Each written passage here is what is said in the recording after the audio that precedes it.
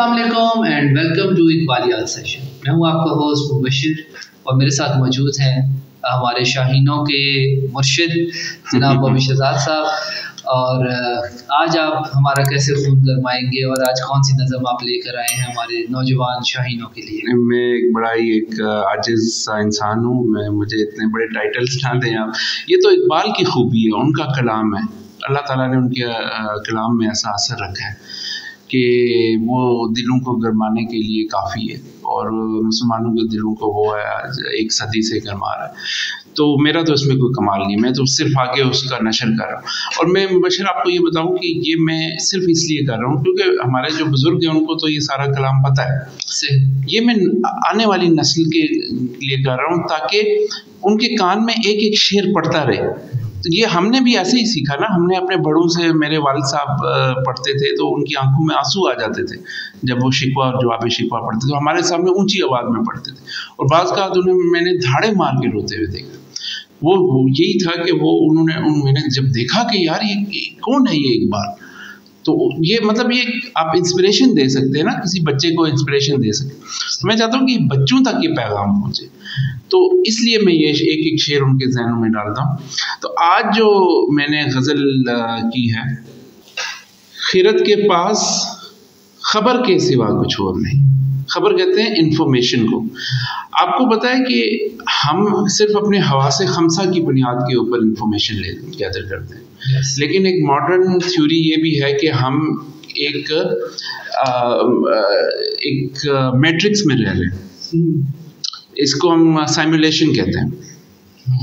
اقبال اسی اسی طرف ایک سائنسی نظریے کی طرف وہ بات کر رہے ہیں کہ جو انفارمیشن آپ کو میں آپ کو اپنے سامنے دیکھ رہا ہوں تو یہ تو میری آنکھوں کے پردوں پہ آپ کی روشنی پڑ رہی ہے تو کیا پتا آپ یہاں پہ نہ ہو واقعی۔ یہی یہی بات ہے نا مجھے تو وہ انفارمیشن اپنے خرد عقل کے ذریعے مل رہی ہے۔ لیکن اگر یہ عقل کا پردہ ہٹ جائے ٹھیک ہے نا تو اس کے پیچھے جو پردہ ہے وہ نظر کا پردہ ہے وہ صوفیہ کا پردہ ہے۔ صوفیہ کو پتا ہوتا ہے کہ صوفیہ کو جو نظر آ رہا ہوتا ہے وہ اس سے بیونڈ نظر آ رہا ہوتا ہے۔ اقبال کا ایک شعر ہے کہ دل بینا بھی کر خدا سے طلب۔ آنکھ کا نور دل کا نور نہیں۔ بے شک۔ کہ اپنے دل کی بینائی بھی طلب کر اللہ تعالیٰ سے۔ ایک دل بینا طلب کر۔ کیونکہ صرف آنکھوں سے دیکھنا جو ہے نا یہ نظر نہیں ہے یہ روشنی نہیں ہے۔ دل کا نور کچھ اور چیز ہوتی ہے۔ تو یہ جو دل کا نور ہے نا تیرا علاج نظر کے سوا کچھ اور نہیں۔ یہ نظر جو ہوتی ہے نظر کرم ہوتی ہے یہ یہ صرف صوفیہ سے آپ کو مل سکتی ہے۔ یہ صرف صاحب کرامت لوگوں سے آپ کو مل سکتی ہے۔ بے شک۔ ہر ایک مقام سے آگے مقام ہے تیرا۔ حیات زو کے سفر سے کے سوا کچھ اور نہیں۔ وہ کہتے ہیں نا انگریزی میں اسی یہ دیکھیں یہ ساری کی ساری جو لاجکس ہیں نا یہ اقبال کی شاعری سے انہوں نے نکالی ہوئی ہیں۔ جتنے بھی یہ کوٹ کوٹیشنز ہیں لائف از جرنی اکثر آپ نے سنا ہوگا اینڈ ناٹ دا ڈیسٹینیشن جی جی۔ یہ وہی بات کر رہے ہیں۔ ہر ایک مقام سے آگے مقام ہے تیرا ٹھہرنا نہیں ہے۔ آپ نے ٹھیک ہے نا؟ وہ جو پچھلی دفعہ میں نے آپ کو سنائی تھی نا یہ ٹیپو سلطان کی وصیت۔ جی جی جی جی۔ اس میں بھی وہ یہ بات کر رہے ہیں نا کہ تو راہ شوق ہے منزل نہ کر قبول۔ منزل نہیں قبول کرنی آپ آپ نے چلتے ہی رہنا ہے۔ یہ نہ ہو کہ آپ پڑاؤ ڈال دیں کہ بس میری میری منزل مجھے مل گئی۔ آپ نے محنت کرتے رہنا آپ نے کوشش کرتے رہنا ہے۔ بڑھاپے میں بھی کوشش کرتے رہنا ہے۔ حیات زو کے سفر کے سوا کچھ اور نہیں۔ زندگی جو ہے وہ تو آپ نے زندگی ایک سفر ہے زندگی ایک منزل نہیں ہے۔ کامیابی جو ہے وہ success is a journey and not a destination جو انگریزی میں آپ بات کرتے ہیں جو اسی کی بات کر رہے ہیں۔ گراں بہا تو حفظ خودی سے ہے ورنہ۔ گراں بہا تو حفظ خودی سے ہے ورنہ۔ گوہر میں آب و گوہر کے سوا کچھ اور نہیں۔ صحیح۔ گراں بہا یعنی کہ قیمتی۔ وہ قیمتی بنا ہے خودی سے۔ انسان جو ہے وہ اپنی خودی سے قیمتی بنا ہے۔ سمجھتے ہیں نا بات کو؟ جی جی۔ انسان کو اللہ تعالیٰ نے کیوں ایک مقام دیا؟ فرشتوں سے اعلیٰ مقام دیا۔ خود ہی کی وجہ سے۔ اس کے اندر خود ہی کی قوت اور طاقت عطا کی۔ ورنہ تو وہ بھی ایک مٹی کا ایک پتلا ہی تھا۔ ٹھیک ہے نا؟ وہ جیسے گوہر میں آپ وہ گوہر کے سوا کچھ اور نہیں۔ کہ جو ایک آپ کا جو موتی ہوتا ہے وہ وہ اس میں خود کوئی وہ نہیں ہوتی جب تک اس کے اندر ایک خود ہی کا پیکر نہ اس کے اندر موجود ہو۔ تو وہ خود کوئی اس میں کوئی کمال نہیں ہوتا ایسا۔ رگوں میں گردش خوں ہے، اگر تو کیا حاصل؟ حیات سوزے جگر کے سوا کچھ اور نہیں۔ صرف رگوں میں دوڑتے پھرنے کے ہم نہیں قائل، جو آنکھ ہی سے نہ ٹپکا تو پھر لہو کیا ہے؟ یہ غالب کا شعر ہے۔ بھائی تو اسی کو بات کرتے کہ رگوں میں گردش خون ہے اگر تو کیا حاصل؟ اگر خون دوڑ رہا ہے آپ کی رگوں میں، تو لیکن آپ کے جگر میں بےتابی نہیں ہے۔ اگر آپ میں سوزے جگر نہیں ہے، اگر آپ خونے جگر نہیں دے سکتے، محنت نہیں کر سکتے، اگر آپ اگر آپ کے اندر ایک درد مندی نہیں ہے انسانیت کے لیے، تو پھر تو کوئی فائدہ نہیں۔ آپ جیسے زندہ ہیں، ویسے ہی مرے ہوئے ارو سے لالا مناسب نہیں ہے مجھ سے حجاب کہ میں نسیم سہر کے سوا کچھ اور نہیں۔ اے پھولوں کی دلہن مجھ سے پریشان ہونے کی ضرورت نہیں ہے۔ میں تو ایک نسیم سحر ہوں میں چھو کے تیری خوشبو اٹھا کے آگے پھیلا دوں گا۔ میں نے کہنے کا مقصد یہ ہے کہ وہ خوشبو جو اسلام کی خوشبو ہے جو اپنے رب کی خوشبو ہے جو محبوب کی خوشبو ہے وہ خوشبو پھیلانے کے لیے اقبال جو ہے وہ بےتاب ہے۔ جسے کساد سمجھتے ہیں تاجران فرنگ فرنگ یعنی کہ فرنگی انگریز۔ جسے وہ ریسیشن کہتے ہیں۔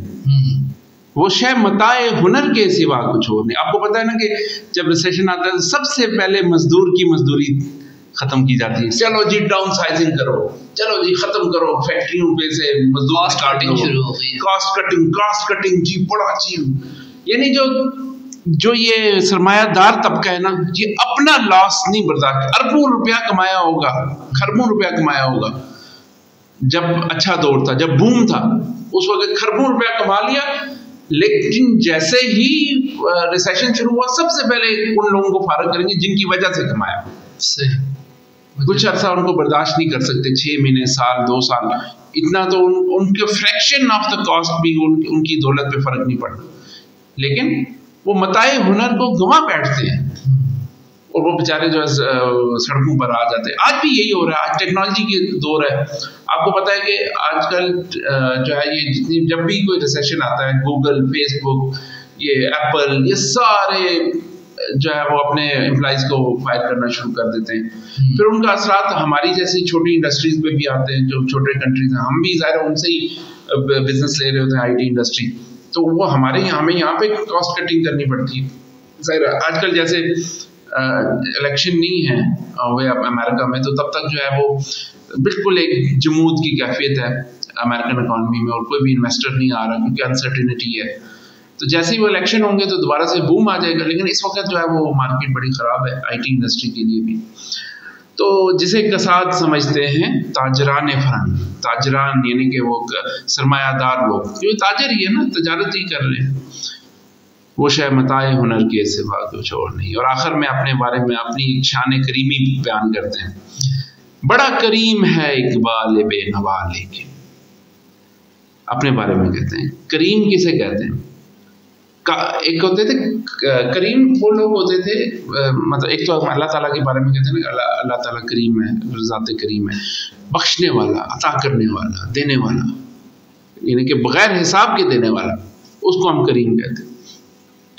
لیکن کریم کا جو اصل ہے، وہ عربی عربی میں یہ ہوتا تھا کہ کاسل کرام ایک لفظ استعمال کیا اقبال نے مسجد کرتبہ میں، اس اس والی نظم میں، کہتے ہیں، عشق ہے کاسل کرام وہ کرام سے نکلا کرام وہ لوگ ہوتے تھے جو کہ عربوں میں یعنی کہ ایک محفل لگتی تھی اور وہاں پہ بادہ و جام چل رہا ہوتا تھا۔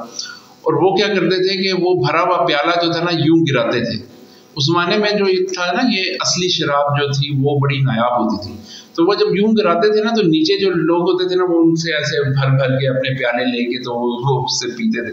ان کو کہتے تھے کاسل کرام یہ اپنے ان کی رام کا پیالہ ہے۔ وہ یعنی کہ وہ عطا کرتے تھے اپنے یعنی کمی کمینوں کو وہ دیتے تھے نیچے۔ یار تم بھی پی لو، تم بھی پی لو۔ اور وہ وہاں سے ایک ٹرم چلی۔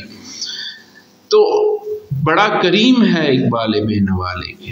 اقبال کے پاس دینے کے لیے بہت کچھ ہے۔ بہت کچھ ہے بڑا کریم ہے بڑا وہ خود ہی کا بھی درس دے گا تمہیں وہ تمہیں شاہین کا بھی بتائے گا وہ تمہیں تمہاری عظمت رفتہ بھی سکھائے گا۔ لیکن عطائے شولہ شرر کے سوا کچھ اور لیکن وہ ایک چنگاری ہی بھڑکا سکتے ہیں۔